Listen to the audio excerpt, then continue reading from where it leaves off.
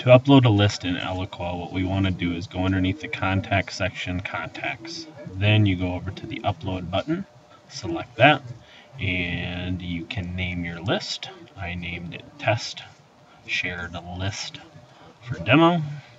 Next you select is it a delimited file or an Excel file. I do Excel. Um, add or update contacts is what you want for the import purpose. And then next you click the blue icon to actually locate your file. You then select your file, which mine's an Excel file. Click open. Again, you can see there's the email column. Um, you select the source field if it doesn't recognize it right away. And my source field is going to be email address.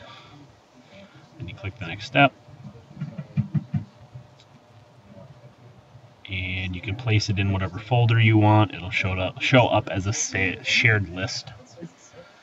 And then you'll also get notified via email um, saying that your shared list is uploaded. You go back into the shared library and then the folder that you just placed it underneath shared list. So there is my shared list. So next I can show you how to attach this to a segment. There you can see the email finally popped up. So you go under segment, create segment, then click the little plus button or title your segment first.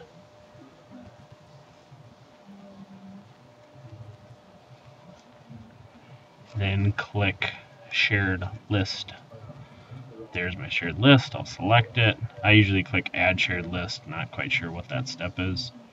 Uh, if you click save, you save your segment wherever you want, you're going to access it for the campaign. You can see the contact list went up one, you select it, and then you can see which contacts are in there.